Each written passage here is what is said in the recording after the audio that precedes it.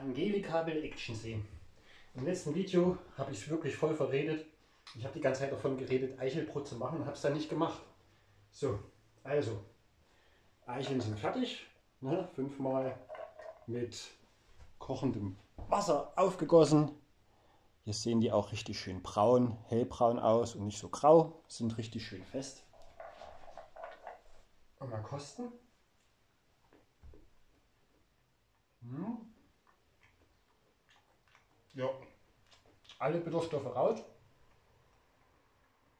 Hm? Alle Bitterstoffe raus. Und richtig schön fest. Ja, wie eine Nuss. Okay, dann ab in den Mixer. Hm.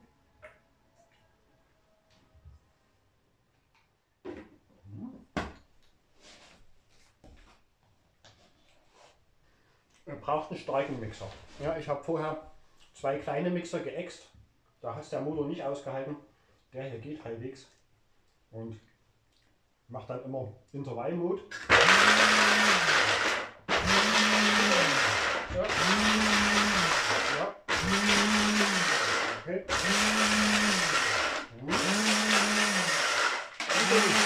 So, schütteln.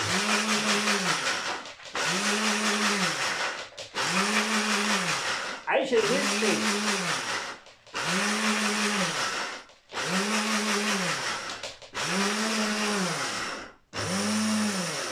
Okay, das klingt schon mal gar nicht so schlecht. Oh, fein. Aha. Okay. Seht ihr hier so ein bisschen was? Ja, das geht dann natürlich noch feiner, bis hin zu Mousse, je nachdem welche äh, Grübigkeit ihr da haben möchtet.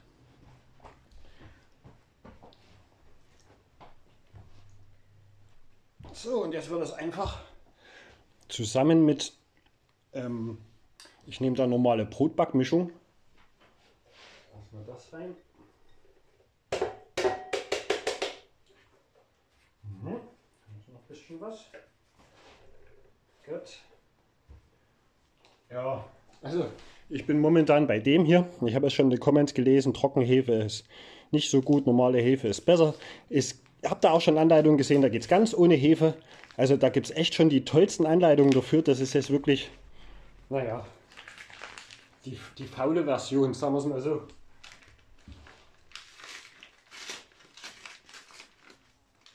Okay, also.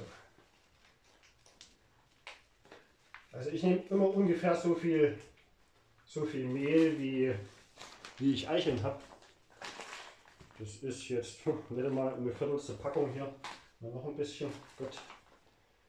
So. Und dann kommt lauwarmes Wasser drauf. Das haben wir hier. Hände sind sauber. Ja, sind sauber genug. Okay, und dann muss man halt mal gucken, wie viel Wasser man da braucht.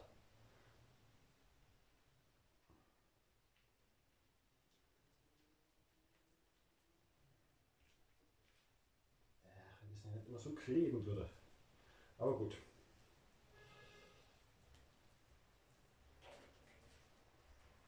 Wenn das meine Oma sehen würde, dass ich auf ihrem guten Teppich Brot back. Oh, schon was daneben gegangen. Mist. Ja, aber das ist ja erst nur mal für euch, ja? Okay.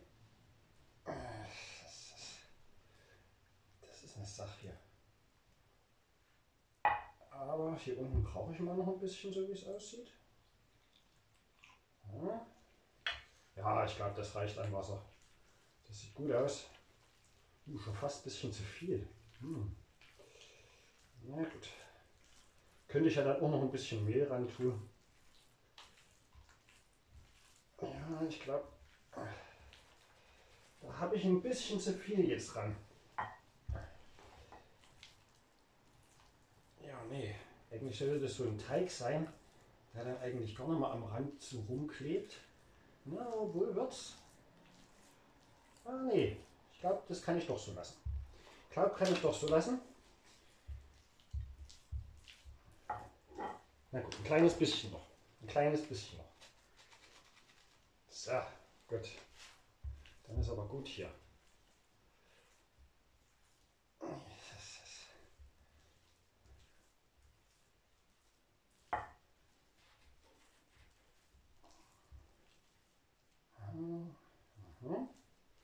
Okay. Die Bäckermeister werden mich jetzt bestimmt voll auslachen.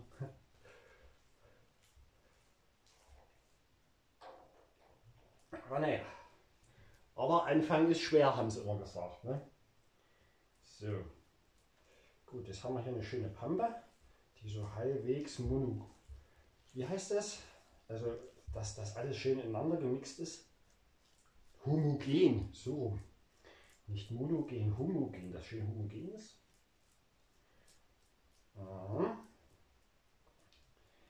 So, und dann wird das, ah, Hände waschen ist wieder so eine Sache. Ja.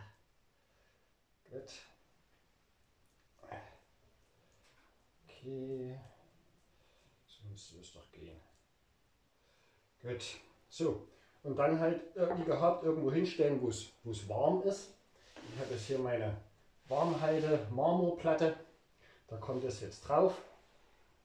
Ähm, ich glaube am Anfang eine Dreiviertelstunde ziehen lassen. Ja, eine Dreiviertelstunde mit so einem Küchentuch überdeckt ziehen lassen.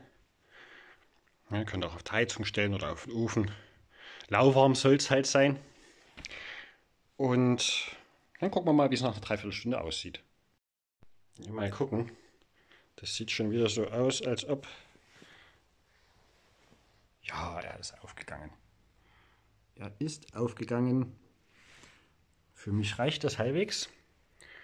Ja, und dann wird es einfach nochmal geknetet. Ne? Nochmal ein bisschen durchgeknetet.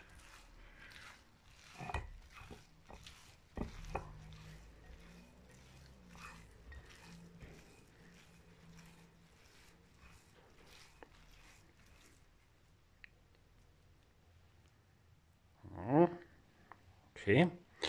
Und dann wird es hier in diese ähm, Brotbackform eigentlich, eigentlich nur gegeben. Also das kriege ich jetzt, glaube ich, mit einer Hand nicht so richtig hin. Es sei denn, es ist schon ganz schön meditativ. es klappt. So viel hängt da gar nicht mehr drin. Sehr schön. Sehr schön. So. Dürfte ein kleines Brötchen werden. So mal zum Kosten. Ja, soll es ja auch nicht. Okay.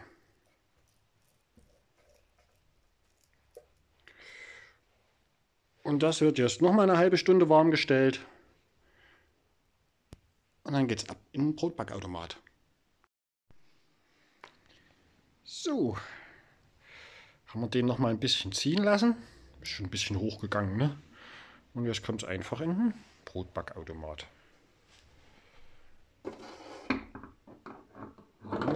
So. Nicht sehr schütteln, nicht, dass wieder zusammenfällt. Hm? Okay. Zumachen. Einschalten. Und dann hier auf 80 Minuten. Gut. Okay. So, jetzt müsste das dann so langsam hier drin warm werden.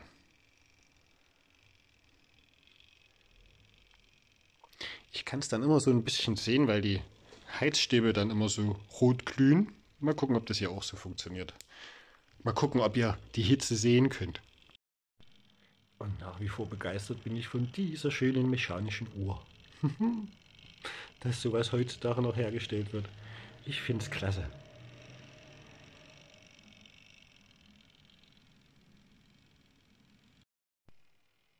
Ah, ich habe es gerade noch drauf bekommen. Drüben seht ihr es ein bisschen rot. Jetzt hat gerade, wo ich die Kamera eingeschaltet habe, der Temperaturschalter abgeschalten. Der schaltet natürlich bei 140 Grad Celsius ab und bei 90 Grad Celsius wieder ein. Nicht bei Volt, wie ich im letzten Video andauernd gesagt habe. Gut, okay. Also, nach 10 Minuten aufheizen hat er das erste Mal abgeschalten sozusagen.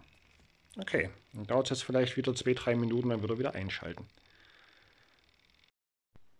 Gut, das war's. 80 Minuten vorbei.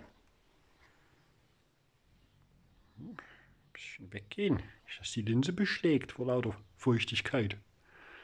Hm, sieht doch schon mal gar nicht so schlecht aus. Wow, heiß. Okay. Schnell, schnell, schnell. Heiß, heiß, heiß. Mhm. Mhm. Na dann hauen wir es mal auf den Teller drauf hier. Brotteller.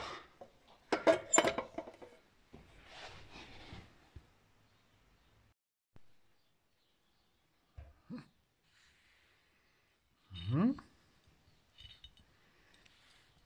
Ja. Oh, ist das knackig. Hört ihr's? Mm. Mm. Mm.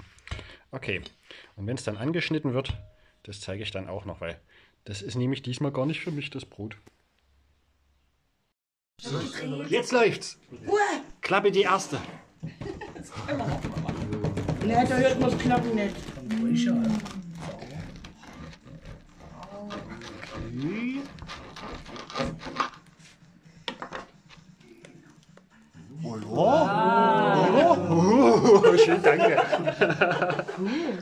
fetzt. Ah, ist richtig durch geworden. Schön. Freut mir.